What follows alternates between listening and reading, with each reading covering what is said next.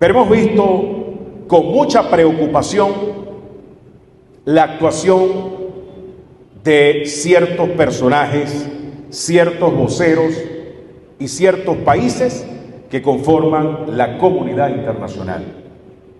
Y aquí quiero ser enfático. Si la intención de algunos países, de algunos presidentes, si algunos miembros de la comunidad internacional, si su intención es ayudar a dirimir esta controversia, bienvenidos.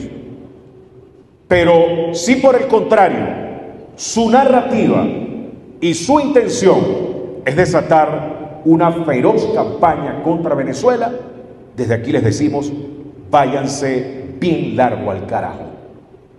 Nosotros no necesitamos una comunidad internacional que responda a la narrativa de intereses que pretendan imponernos cuál es el camino a seguir. Los problemas de Venezuela los resolvemos los venezolanos.